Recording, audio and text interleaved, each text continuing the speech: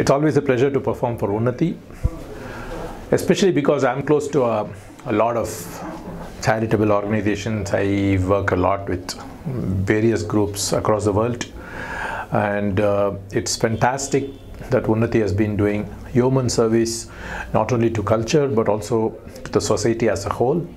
And given that it's always a, a deep bond that I feel with this organization when I perform here in Bangalore. And their festival is, of course, a glittering event every year. It has grown from strength to strength. I probably played here many, many years back, probably even as a teenager or earlier.